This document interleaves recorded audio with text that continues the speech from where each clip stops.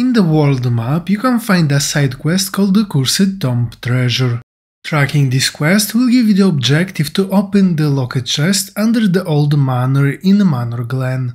To complete it, slightly to the bottom left from the quest location, uh, use the West Manor Cape Floo Flame. Now, using the broom, fly toward the location of the quest and you will notice that is underground. From here proceed a little bit further and after the opened gate you have to reach the building you will notice in the distance. Slightly to the left from the staircase you will be able to enter inside it, where you have to go slightly to the right in order to find a staircase going down. At the end of it, look to the left and you will find a door locked by a level 2 lock you have to remove.